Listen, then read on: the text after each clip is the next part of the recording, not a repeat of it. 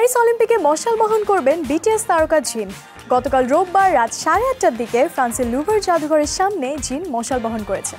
ছাব্বিশ জুলাই প্যারিসে এবারের অলিম্পিকের পর্দা উঠছে। এর আগে অলিম্পিকের রীতি মেনে মশাল বহনের আয়োজন রয়েছে। এতে অংশ নিতে গত বৃহস্পতিবার প্যারিসে পৌঁছেছেন সবার ফেভারিট কেপ তারকা জিন।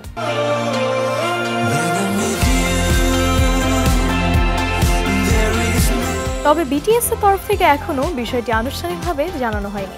একত্রিশ বছর বয়সী জিন বিটিএস এর প্রথম সদস্য হিসেবে গত মাসে সামরিক প্রশিক্ষণ শেষ করে বাড়ি ফিরেছে। এবছরের শেষ ভাগে জিনের গানে নিয়মিত হওয়ার কথা রয়েছে। বিটিএস এর বাকি সদস্যদের মধ্যে আরও আছে আর এম জেহোক জিমিন বি জাংকুক এখনও প্রশিক্ষণ নিচ্ছেন।